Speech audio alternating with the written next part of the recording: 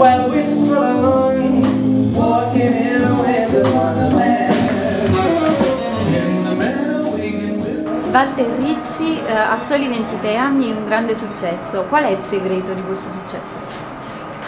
Ehm, eh, forse, forse il segreto del successo, se proprio vogliamo parlare di segreto, nel mio caso non c'è.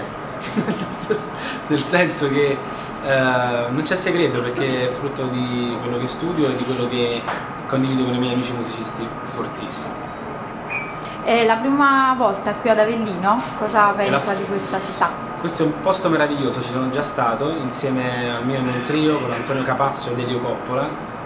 E ci siamo stati qui eh, perché abbiamo un featuring del mio Hammond Trio insieme a Fabrizio Bosso che è un notissimo trombettista eh, italiano. Quanto contano le sue origini partenopee eh, nella sua musica? Quanto influiscono?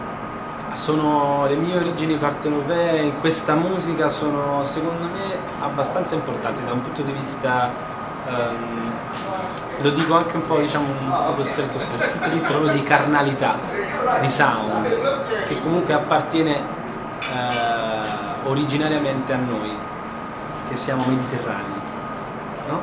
e quindi questo è sicuramente un condimento importante che va ad influire sul mio modo di, can di cantare e di fare musica insieme ai miei amici. Quali sono per lei gli auspici per il futuro?